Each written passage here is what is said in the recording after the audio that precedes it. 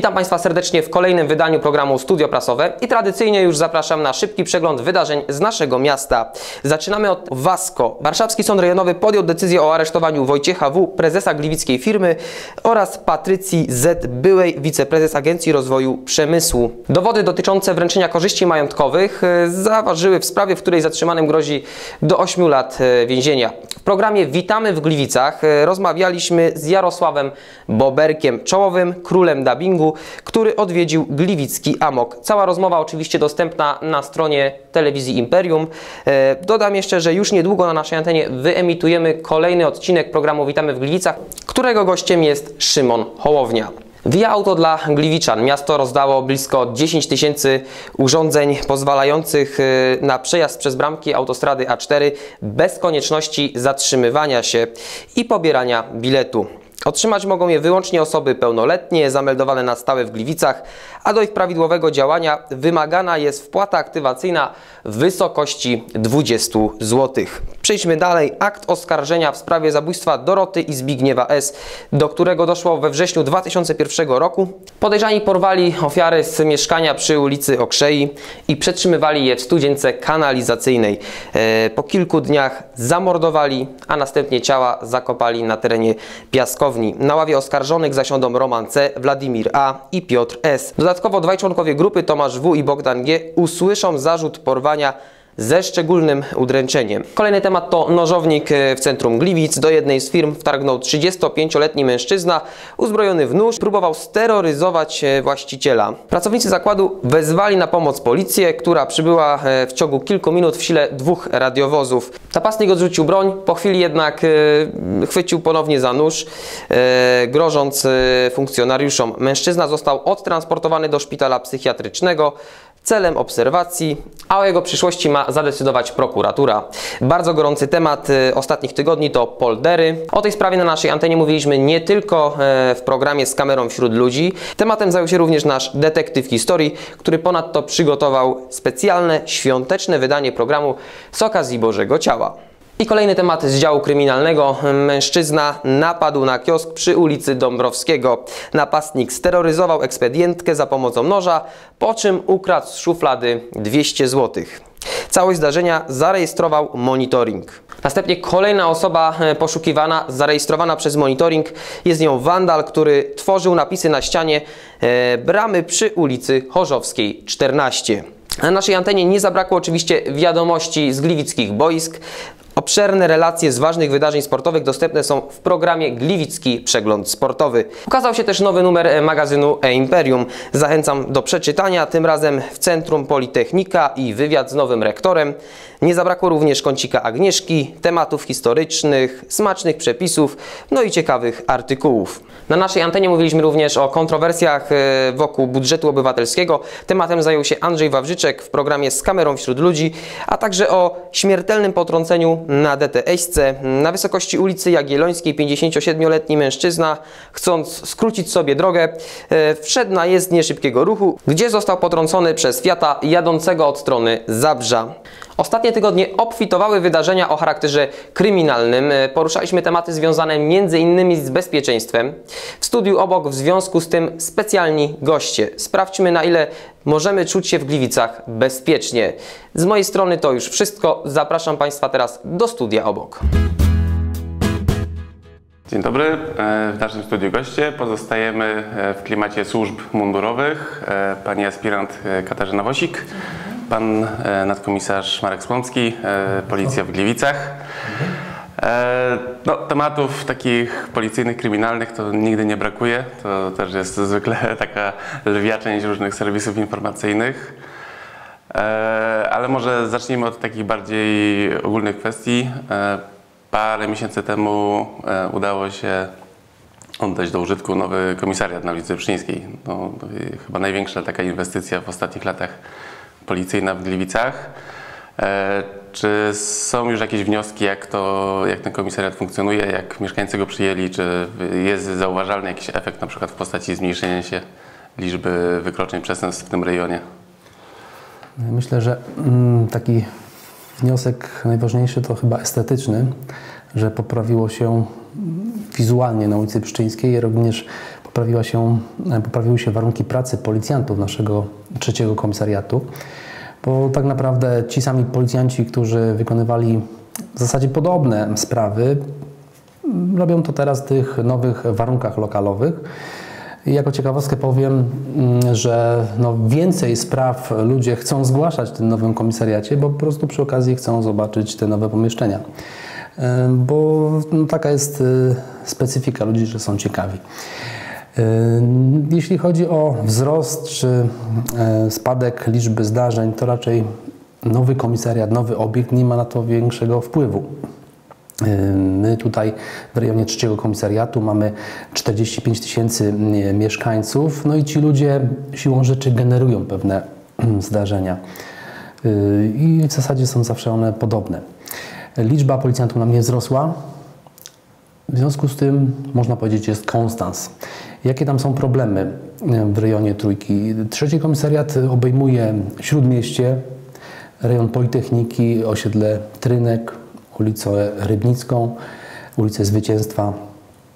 Tutaj jeszcze plus dworzec oczywiście kolejowy i to centrum nasze e, przesiadkowe przy Placu Piastów. Tutaj e, pojawiają się kieszonkowcy e, wieczorami na osiedlach.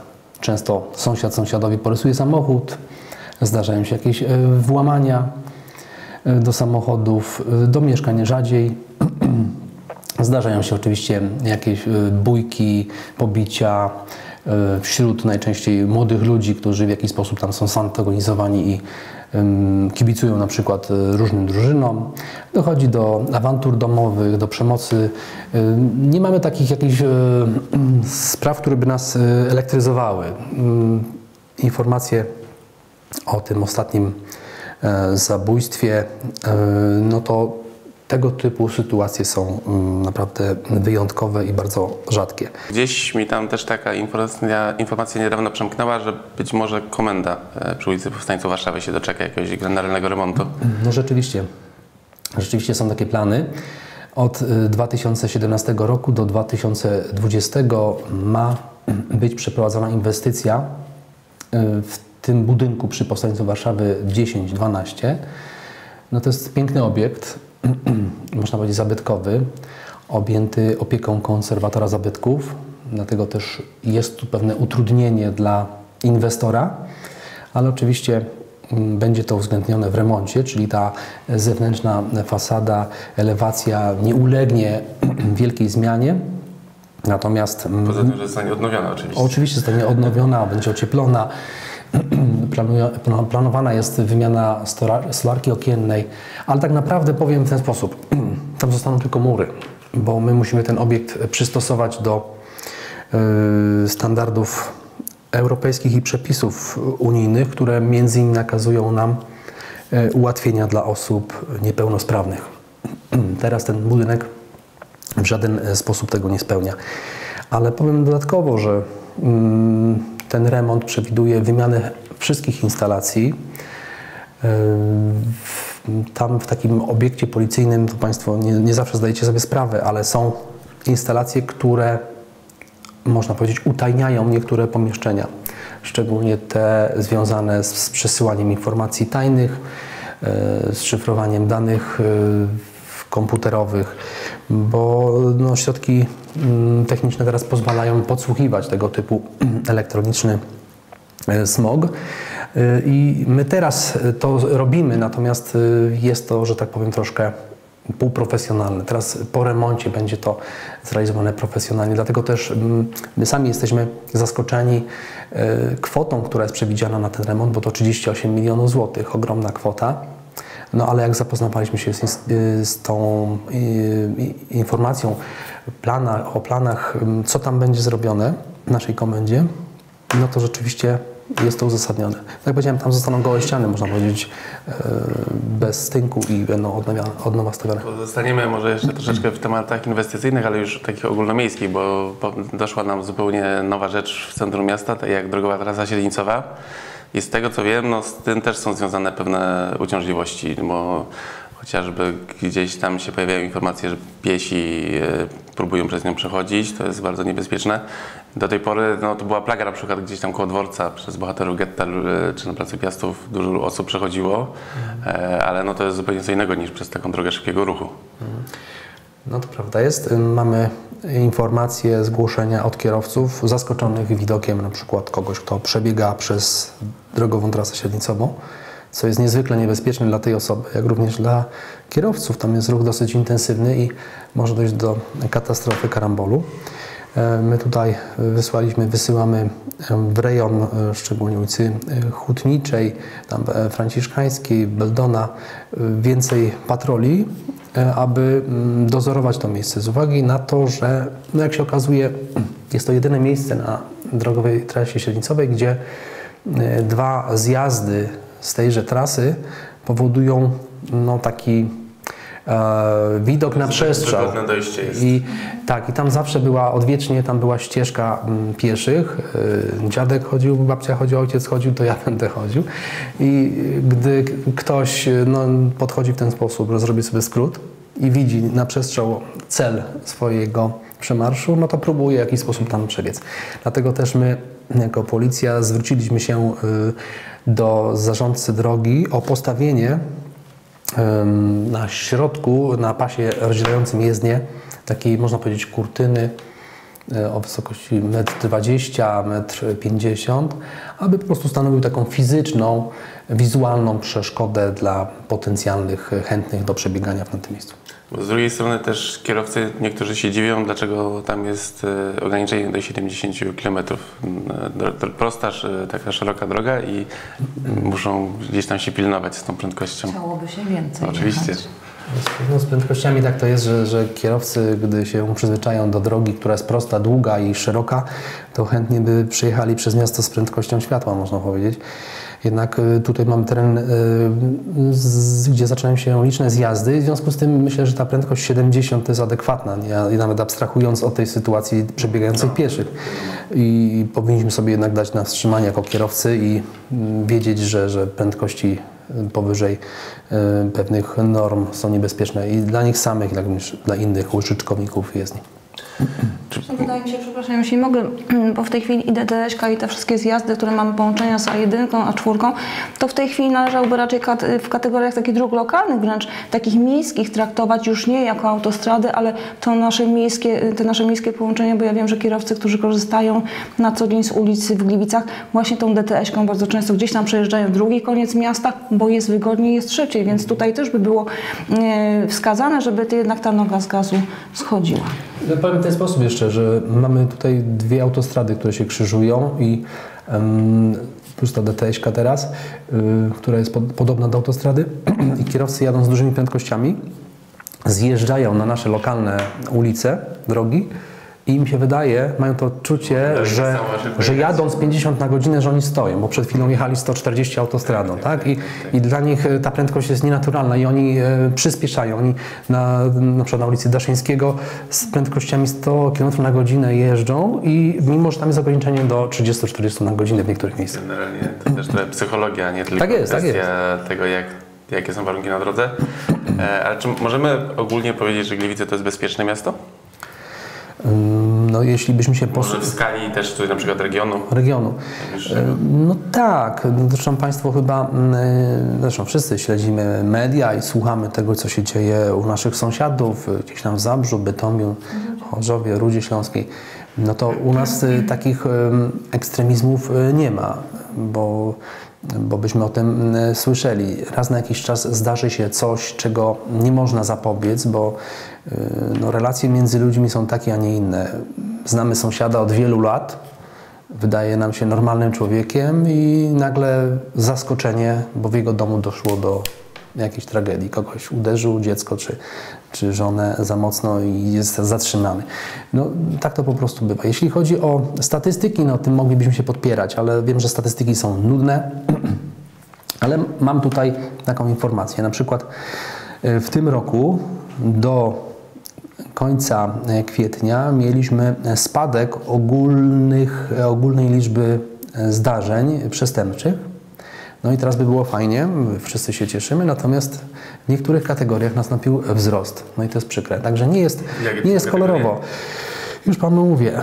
Spadek w ogóle ogółem przestępstw mieliśmy w stosunku do roku e, poprzedniego o prawie 1000, bo 982 zdarzenia. Natomiast w przestępstwach typu e, kradzieży samochodów mamy wzrost. To jest przykre, bo o 18 samochodów nam więcej skradziono niż analogicznym okresie roku ubiegłego. W tym roku skradziono nam 57 samochodów. W rejonie Gliwic, oczywiście powiatu gliwickiego, czyli tutaj wchodzi Pyskowice, Knurów i mm, inne gminy. No ale na przykład mamy wzrost e, liczby włamań w Gliwicach o 14. No także mm, no, zdarzają się sytuacje takie, że, że nie możemy jako policja na to wpłynąć. Jak może policjant mm, zapobiec na przykład kradzieży z włamaniem do szafki ubraniowej w jednej z firm na terenie strefy gliwickiej? Mm, A takie zdarzenia są bardzo często. To nam wpływa oczywiście na tą liczbę mm, zdarzeń. Czy też na przykład na włamanie, jaki ma wpływ policjant na włamanie, na zaistnienie włamania w piwnicy, w bloku? lokatorzy, którzy tam są, śpią, nie słyszą. Nie przychodzi w pobliżu, no to żadnego. No tak, ale powiem więcej, no, sam oznakowany, umundurowany patrol, którego każdy z nas sobie życzy jak najwięcej, żeby ich było, e, wpływa na przestępców w ten sposób. Oni patrzą, czy jest bezpiecznie, bo nie podejmą się popełnienia przestępstwa, jeśli widzą e, patrol. Natomiast ten patrol się przemieści, wtedy taki złodziej przeatakuje, na przykład wybije nam szybę w samochodzie. Dlatego my też e, dzielimy nasze patrole. Część ich jest nieoznakowanych, nieomundurowanych i my często jako mieszkańcy nie mamy świadomości, że w pobliżu są policjanci tak naprawdę. No i oni są tak naprawdę bardziej skuteczni w zatrzymywaniu na gorącym uczynku. Eee, Wspomniał Pan o tym, że takich y, przykrych zdarzeń jak morderstwa to bardzo rzadko się zdarza. Jedno- ostatnio było głośne i na razie na szczęście więcej takich przypadków nie ma, ale no jest dużo takich e, pospolitych bym nazwał to przestępstw, jakichś wyłudzeń, kradzieży. Może pytanie do Pani aspirant, jak możemy się właśnie chronić, żeby, co można robić, żeby nie stać się ofiarą takiego właśnie pospolitego e, przestępstwa, które no, czasami bywa bardzo, bardzo dotkliwe. Jeżeli chodzi o wyłudzenia, o te wszystkie takie nabieranie tych ludzi na, na wnuczka, na administratora, na pracownika OPS-u, na różne mm, sposoby, ja zawsze tłumaczę y, wszystkim y, ludziom, że trzeba być asertywnym. Należy sobie jasno uświadomić, że osoba, która chce nas oszukać, osoba, która chce nas pozbawić pieniędzy, y, i nie, i, i nie, jakby nie, jej nie interesuje to, na co my mamy te pieniądze, jak długo żeśmy to zbierali. Ona chce po prostu nam zrobić krzywdę. W związku z tym nie możemy mm, e, ki- kierować się tym, że ja nie zadzwonię do OPS-u i nie sprawdzę, czy ta pani, która teraz puka do mnie do drzwi, to jest faktycznie pracownik OPS-u, bo być może zrobi jej krzywdę takim nie, niefortunnym posądzeniem. Nie. Musimy dbać o swoje własne bezpieczeństwo. Jeżeli nie znam osoby, która do mnie puka, jeżeli nie zamawiałam żadnej usługi, jeżeli z nikim się nie umawiałam, jeżeli mam obawę, że ktoś może chcieć mnie oszukać, to po prostu nie otwieram drzwi. Yy, Ewentualnie mogę się umówić na inny dzień, wtedy kiedy będzie jakaś inna osoba dorosła, być może młodsza, która będzie mi po prostu mogła pomóc. Proszę się po prostu nie bać, no nie ma co się bać, nie ma co się krępować. My musimy dbać o swoje własne bezpieczeństwo. Jeżeli chodzi o kradzieże z włamaniem, e, musimy, ja myślę, że mieszkańcy powinni zwracać uwagę na to, co robią. Czyli wychodzę z samochodu, nie zostawiam torebki na siedzeniu, dlatego że za trzy minuty wrócę z powrotem do tego samochodu, bo to jest sekunda, kiedy złodziej podejdzie, wybije szybę, weźmie torebkę i po pieniądzach, po pieniądzach, po dokumentach. Nie zostawiamy drogocennych rzeczy w samochodzie, nie zostawiamy na parterze uchylonych okien. Musimy po prostu niestety zacząć myśleć trochę właśnie jak oni, tak? Jeżeli ja y, zostawię coś w samochodzie, wyjdę, mogę sobie pomyśleć, że być może będzie to pokusa dla po prostu złodzieja. Y, teraz się zaczyna... Zawsze szuka takiego najsłabszego ogniwa. Zawsze, zawsze szuka, on nie wychodzi z tym zamiarem w rejon, że dzisiaj ukradnę cztery torebki, on po prostu szuka okazji. Jeżeli ją widzi, korzysta z tej okazji, zaczyna nam się ładna pogoda, za chwilę wszyscy pojedziemy gdzieś nad wodę, pojedziemy odpoczywać, pozostawiane torebki, komórki na kocach, pod kocami, nam się wydaje, że mm, schowam komórkę pod kocyk i ona jest bezpieczna. Nie, bo on siedzi na drugim kocyku i sprawdza, co ja robię. W związku z tym tutaj no, zostawiamy kogoś przy tym kocyku, kto pilnuje tych naszych rzeczy, ewentualnie gdzieś dajemy, jeżeli jest przechowanie bagażu, dajemy tam. Musimy po prostu wyprzedzić tego złodzieja i no, gdzieś mu utrudnić jednak tą pracę. To od nas samych zależy, czy będziemy ofiarami tego złodzieja, czy nie. W znacznej części oczywiście, bo nie zawsze. Czasami nie mamy po prostu na to wpływu. Czasami okazuje się, że właśnie nie, nie trzeba wiele, tylko gdzieś tam minimalnie ten poziom trudności podnieść i, i to już powoduje... Jesteśmy bezpieczni. znaczy, tak, bo my tak wszyscy mm, zawsze przez pryzmat chyba naszych y, kreskówek, które oglądaliśmy mm, w wieku dziecięcym, postrzegamy, że złodziej to jest ktoś, kto wygląda na oprycha. A to zazwyczaj jest, czy ten oszust szczególnie, to jest osoba, która naprawdę wzbudza zaufanie. To jest y, często y, osoba profesjonalna w tym swoim zawodzie i y, można powiedzieć, że posiada pewne umiejętności manipulacyjne, ale jeżeli chodzi o wizerunek, wizerunkowo musi wzbudzać taki oszust zaufanie. I dlatego jest bardzo mylne, gdy zobaczymy, szczególnie starsza osoba, o jakąś pięknie ubraną panią, y, pana w uniformie jakimś, y, jest przekonana taka osoba, że mamy do czynienia y, z prawdziwym funkc- czy funkcjonariuszem, urzędnikiem. I to jest właśnie bardzo mylne. A jeśli chodzi na przykład o te przestępstwa na wnuczka, nam się ostatnio bardzo e, skończyły w zasadzie, prawda? Nie mamy tych zgłoszeń. Dzięki właśnie mediom przede wszystkim i informacjom. Ale bywają inne oszustwa. Mieliśmy w tamtym tygodniu, powiem Państwu taki przykład. Pani poszła po oszczędności swojego życia z jednego banku na zwycięstwa, miała wyjąć lokatę i przenieść do innego banku. Natomiast dwóch panów podesz, najpierw jeden podszedł i stwierdził, że ma okazyjnie złoto do sprzedania, monety złote. Y, Zaprezentował tej pani, to jeszcze w banku miało miejsce i w tym momencie przyszedł jego e, wspólnik i zaoferował, że da więcej niż ta pani. To nakręciło oczywiście chęć zysku u ofiary tego oszustwa. Pani powiedziała, że jednak nie, ona się podejmuje, kupuje za całe te pieniądze to złoto. No i kupiła, straciła całe pieniądze, panowie się e, rozmyli e, w tłumie i teraz no, policja musi ich szukać. Także tutaj widać tego typu kombinacje też oszuści wykonują. Ci panowie wyglądali według opisu tej pani mm, na bardzo inteligentnych e, i mądrych panów. E, Jedna jeszcze jest taka dość ostatnio często się zdarzająca rzecz, bo e, w Stanach Zjednoczonych się napada na banki, a u nas zauważyłem się często na sklepy napada, bo to chyba się wydaje, że jest łatwiej. E, Potem te wizerunki bardzo często trafiają do mediów, bo jednak te sklepy mają już zazwyczaj monitoring. E, Jak, jaka jest też skuteczność właśnie e, poszukiwania takich e, przestępców? Bo chyba dość duża. Tak, ale powiem w ten sposób. Ona jest dość duża i nawet bardzo duża, bo 89% mamy wykrywalności w tej dziedzinie, również dzięki mieszkańcom.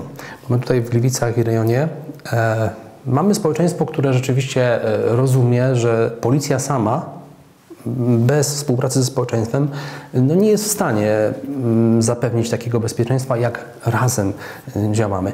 Y, To jest efekt rzeczywiście chyba też świadomości inteligencji tutaj naszych mieszkańców. I gdy dochodzi do takiego przestępstwa, my oczywiście przyjmujemy zawiadomienie. W pierwszej kolejności nasi śledczy robią wszystko, aby we własnym zakresie dotrzeć do sprawcy, żeby go ustalić. Czyli sprawdzamy nasze bazy danych, porównujemy, typujemy. Nasi e, dzielnicowi otrzymują informacje, czy nie znają takiego delikwenta. No, gdy to zawodzi, czyli nikt nie zna takiej osoby, wówczas występujemy do mediów z prośbą o publikację i czekamy na odzew społeczny. I ten odzew jest. Myśmy w tamtym roku opublikowali 26 wizerunków i e, z tego praktycznie 20 osób e, zatrzymano. Czyli e, efekt, efektywność tego typu publikacji jest duża. No a cóż, skąd się to bierze, takie napady na, na sklepy? To są często mm, młodzi ludzie, którzy nie pracują nigdzie, a wiadomo, mm, e, reklamy kuszą, aby kupić sobie jakiś modny ciuch, aby kupić jakiś telefon komórkowy.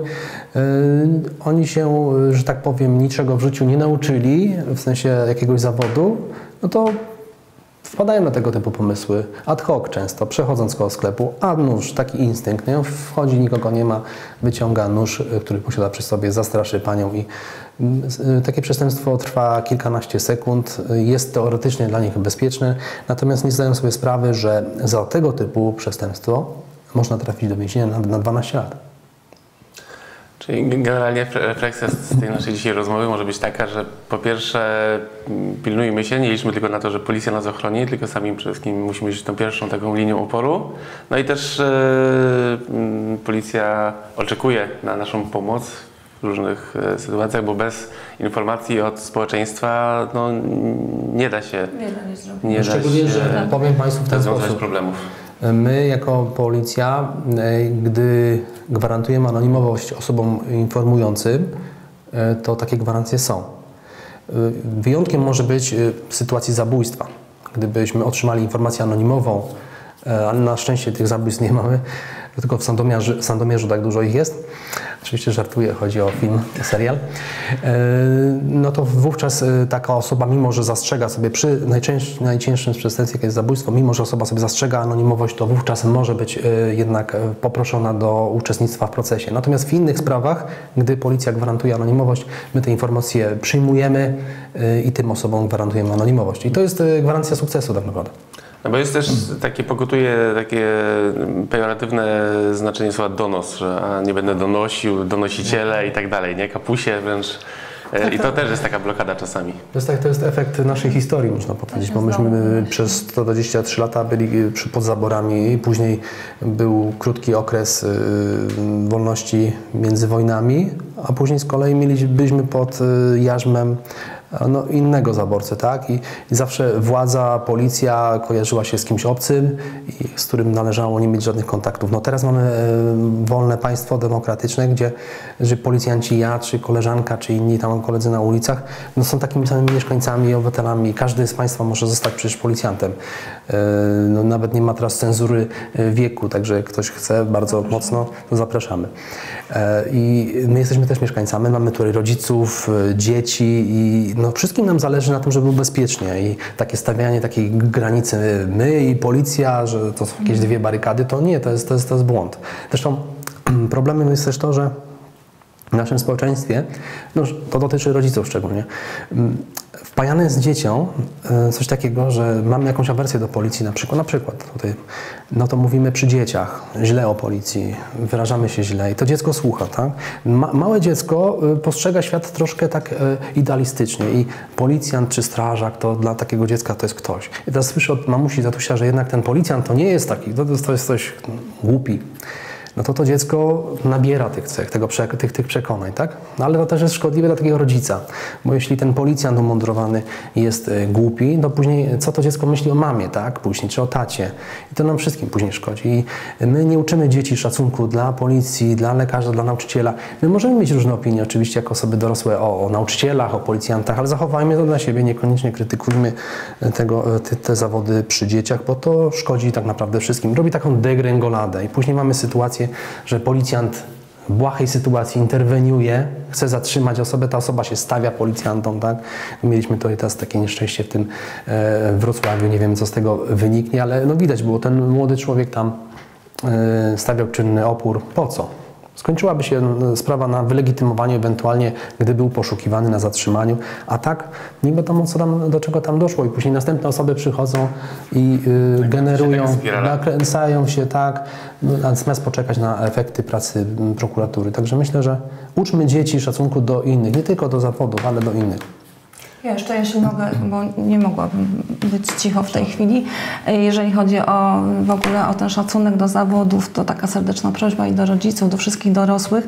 Y, Pracuję z dziećmi, pracuję w szkołach podstawowych, przedszkolach y, i spotykam się niestety bardzo często z taką reakcją, y, kiedy dorosła osoba, mama, tata, pani, pani nauczycielka widzi policjantów wchodzących na przykład do placówki, czy gdzieś tam spotykamy się na mieście.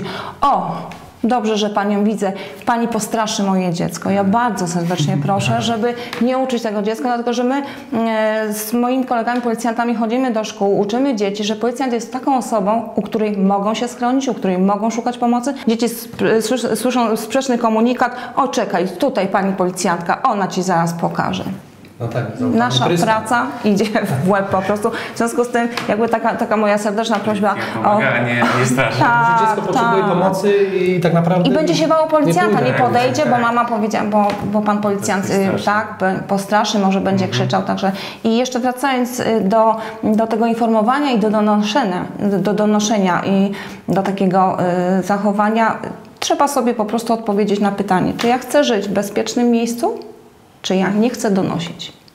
Po prostu. Ale nie, no, nie jest tego nasze. donoszeniem. No tak, no Znaczy- ale, no tak, No ale tak. jeżeli wiesz, jeżeli kładziemy na szal z jednej strony słowo do nas, a z drugiej strony bezpieczeństwo, No tak. jeżeli ja nie zadzwonię na policję, żeby nie donosić, no to sobie w takim razie muszę odpowiedzieć, to ja nie chcę Ja być bezpieczny. tej hasło tej akcji e, nie informujesz, akceptujesz. Tak jest.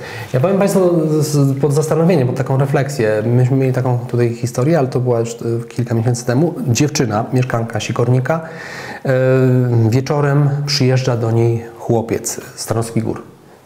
Sympatia. No zresztą była już na takim etapie zrywania tejże znajomości.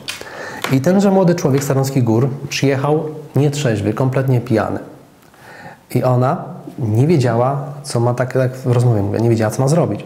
Bo ona mu powiedziała, że ja nie chcę z tobą być, wracaj do domu, tylko teraz tak, co zrobić? On będzie wracał, zabije się albo kogoś zabije, ja mam zadzwonić na policję, a ja nie, nie chcę donosić. No i miała naprawdę taką ambiwalencję, ale zdecydowała się zadzwonić jednak, bo zwyciężył rozsądek. Zadzwoniła na policję, powiedziała, że tutaj jest młody człowiek, który będzie zaraz wracał samochodem i grozi jemu i innym niebezpieczeństwo. Zatrzymali go policjanci. No cóż, stracił prawo jazdy, tak? Ale nikogo nie zabił. To prawo jazdy kiedyś odzyska. Być może stanie na nogi i będzie dobrze. Natomiast mógł, mogło dojść do tragedii, gdyby ta dziewczyna nie zadzwoniła. No i teraz Myślę, mamy... że- No myślę, że to może też Myślę, że tą refleksją możemy zakończyć naszą rozmowę. E, także e, taka może prośba do widzów, żebyśmy się jednak nie bali z policją współpracować. E, no bo też nasze wspólne bezpieczeństwo od tego zależy. Dziękuję e, już dzisiaj za uwagę, dziękuję naszym gościom. Do widzenia.